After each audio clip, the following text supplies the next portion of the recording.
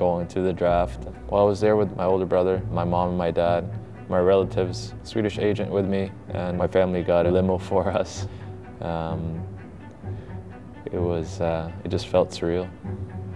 That whole year, I wasn't uh, predicted to go in the first round at all uh, when the season started. And uh, I remember my agent telling me that you don't have to sit probably longer than an hour or so. And I started calculating in my head, okay, every pick is about 10 minutes. When I heard my name, I was uh, just like any other big moment. I feel like I always say that, but I kind of black out. And it was an exciting time for me and my family headed into development camp in Ottawa and got to training camp, got to play some exhibition games, and then just got the message I was at least starting the season in the NHL. The whole time just felt felt surreal, and, and uh, being able to call my parents and say that they were going to come over and, and uh, watch the games was uh, was a lot of fun.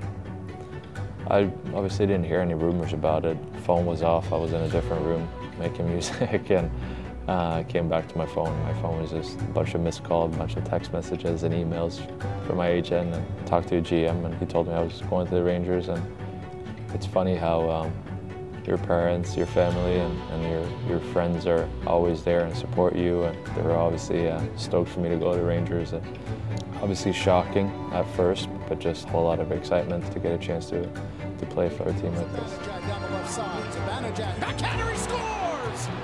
My parents weren't, they always supported me, but they never pushed me to one direction more than just whatever you do, make sure you do it 100% and you commit to it and make sure you don't have any regrets after. And, you know, if you fail, you fail, but at least you did it. And if you succeed, then that's good. Going to the center, Mika Zibanejad, that was the 700 games. Mika, your mom wants to give you a hug. Having that support system and everything is just still to this day living a dream, obviously. And, and uh, whatever I do and any sports I've been playing, I just want to win, find ways to get better and, and where I want to take my game and where I want to take my levels and bring them up as a human being and a, you know, a friend, a, a husband, just a son and everything else. Just want to be the best version of myself that I can be.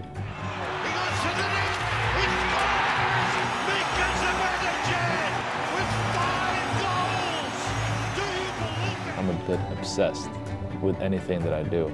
I think it's just obsession of winning and because I know obviously you want to have fun, but it's a lot more fun when you win and when you become better and you, you, you want to make sure that you break your own records, break your own goals, break everything that you, you have and just obsess over it. And, and I don't know if that's the right word, but that's how I would describe it, I think.